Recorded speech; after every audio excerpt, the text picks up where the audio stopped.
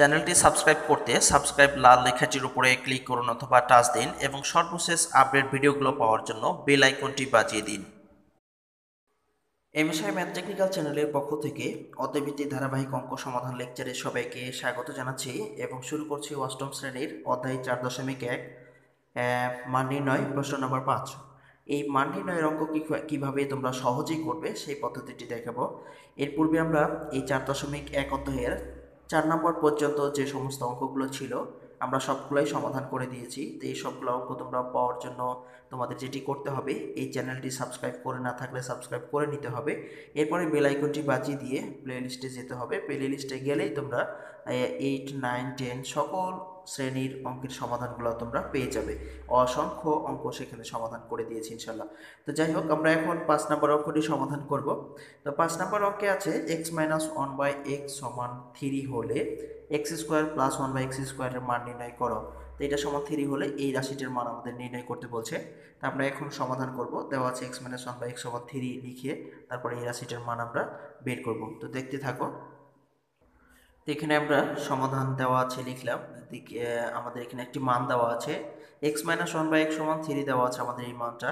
তো এই মান থেকে আমাদের এই রাশিটির মান বের করতে হবে। সেজন্য আমরা এখানে অতএব x square plus one by x square লিখেছি। তা আমরা এইটাকে যদি এ ধরি আর এটাকে যদি আমরা বি ধরি, তাহলে a square plus b square হচ্ছে। তো a square plus b square সমান আমরা দুটি সূত্র জানি। একটা হচ্ছে, a minus b whole square plus two a b আর একটা হচ্ছে a plus b whole square minus two a b এ তো আমাদের যেহেতু এখানে মাইনাসের মান আছে, তাই আমরা মাইনাসের সূত্রটি এখানে প্রয়োগ করব। তো যেহেতু আমরা এখানে মান মাইনাসের তাই সূত্রটি এখন লিখব কিসের? মাইনাসের অর্থাৎ x minus one by x whole square plus two a বলতে এক্স বি বলতে হচ্ছে ওয়ান বাই এক্স তো এই সূত্রটা আমরা এখন প্রয়োগ করে দিলাম। অর্থাৎ এই যে a square plus b square এটার দুইটি সূত্র আছে। একটা a minus b whole square plus two a b আর একটা হচ্ছে a plus b whole square minus two a b তো এটা আমাদের নির্ভর করে যখন আমাদের মান থাকে মাইনাসের তখন মাইনাসের সূত্রটি প্রয়োগ করতে হয়। আর যখন প্লাসের মান থাকে, এই যে প্লাস এখানে প্লাসের মান থাকলে আমাদের প্লাসের সূত্রটি প্রয়োগ করতে হয়। এর উপর নির্ভর করেই মূলত আমরা এই সূত্রটি প্রয়োগ করে থাকি।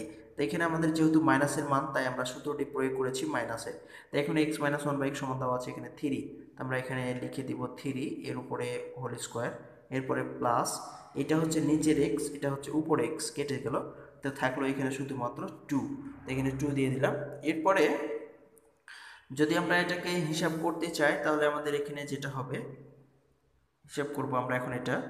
তো দেখো হ্যাঁ তিনের উপরে স্কোয়ার আছে, তাহলে তিন তিরিকে নয়। মানে তিন যে সংখ্যার উপরে স্কোয়ার থাকবে, ওই সংখ্যাটাকে ওই সংখ্যা দিয়েই গুণ করতে হবে। তাই তিনের উপরে স্কোয়ার আছে মানে তিনকে তিন দিয়ে গুণ করলে তিন তিরিকে নয়। এরপরে হচ্ছে প্লাস কত? টু তারপরে আমরা এখন যোগ করে দিব। তো নয় আর দুই যদি আমরা যোগ করি, তাহলে নয় আর দুইকে হচ্ছে কত? এগারো।